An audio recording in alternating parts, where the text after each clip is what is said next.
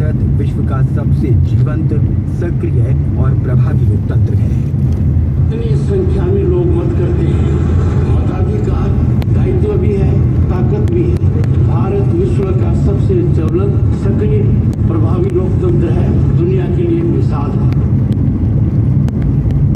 मुख्य चुनाव आयुक्त राजीव कुमार ने लोगों से लोकतंत्र के इस सबसे बड़े उत्सव में मतदान करने की अपील की है दिल्ली में मतदान करने के बाद संवाददाताओं से बातचीत में श्री कुमार ने कहा कि मतदान के दौरान गर्मी को देखते हुए लोग जल्दी से जल्दी गर्मी होने से पहले वोट डालना चाहते थे, लेकिन अभी दोपहर में मतदान की प्रक्रिया थोड़ी धीमी है, काफ़ी तेज धूप है, उमस है तो लोग थोड़ा कम संख्या में नज़र आ रहे हैं पोलिंग केंद्रों पर, मतदान केंद्रों पर।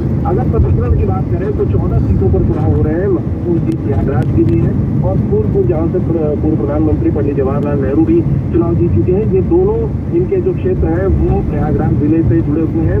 इन दोनों पर मौर्य, ये दोनों प्रत्याशी है, प्रवीण पटेल भाजपा से और अमरनाथ मौर्य गठबंधन से हैं इनसे फूलपुर पर। और नीरज त्रिपाठी, जो पूर्व विधानसभा अध्यक्ष और कदावर बीजेपी नेता केशव अंबेडकर नगर में रितेश पांडे, जो भाजपा से सांसद थे, वो इस बार भाजपा के टिकट पर लड़ रहे हैं। और एक दिलचस्प मुकाबला आजमगढ़ में है, जहाँ पर दिनेश लाल यादव, निरहुआ, जो भोजपुरी स्टार है, वर्तमान में सांसद है भाजपा से, उनके और अखिलेश यादव के भाई जो है धर्मेंद्र यादव, उनके बीच में मुकाबला है।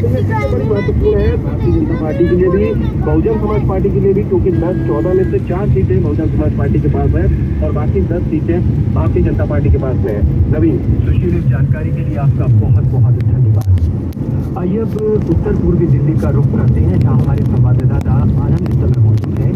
आनंद, दिल्ली में इस समय तापमान अपने चरम पर है। ऐसे में चुनाव आयोग ने मतदाताओं को मतदान के लिए प्रेरित करने के लिए क्या की हैं और इस समय आप जिस मतदान केंद्र पर है वहाँ क्या स्थिति है?